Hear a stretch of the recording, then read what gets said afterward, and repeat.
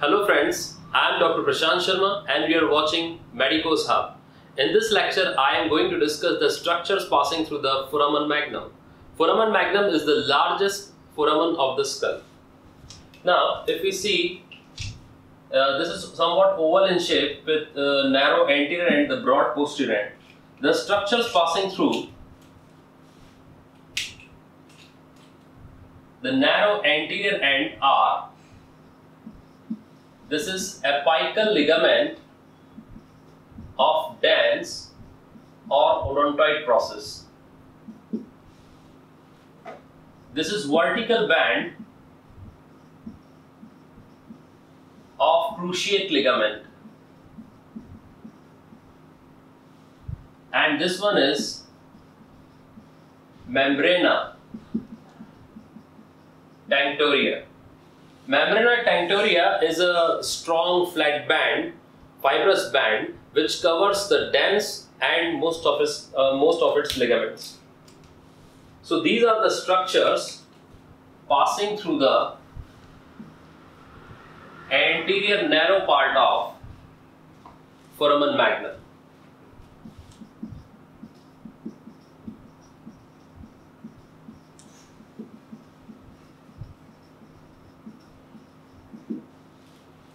Now the structures passing through the broad posterior part are this one is the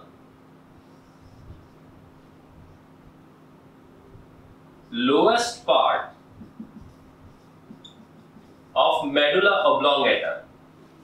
And these are the three meninges. This one is dura mater this one is arachnoid and this one is pia mater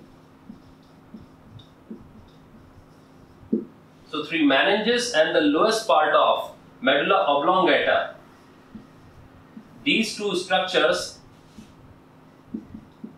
pass through the posterior wide or broad part. Now there is another area that is subarachnoid space. This is arachnoid, red one, and this space is subarachnoid. Like this space is subdural space, this is subarachnoid space. So the structures passing through subarachnoid space are this is anterior spinal artery. These are vertebral arteries and these are surrounded by sympathetic plexus around them.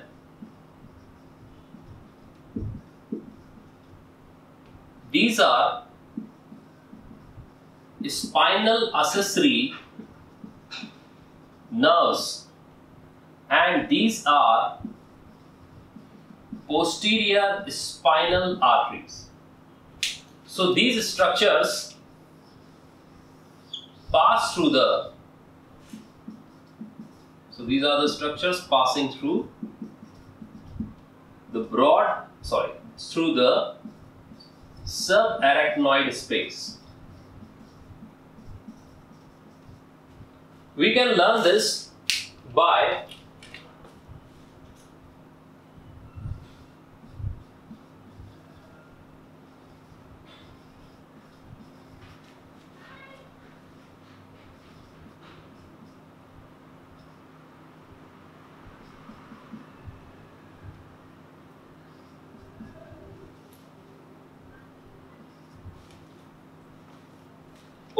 of Mom's said that is odontoid process or dens, the apical ligament of odontoid process or dens, then vertical band of cruciate ligament, then membrana tectoria. So these are the structures passing through the narrow apical, narrow anterior part. Then lowest part of medulla oblongata and all the meninges. These are the structures passing through the broad posterior part and spinal accessory nerves, anterior and posterior spinal arteries and the vertebral artery and sympathetic plexus around it. So these are the structures passing through the subarachnoid space. So hit the like button, share and subscribe our channel to get the latest updates and notifications.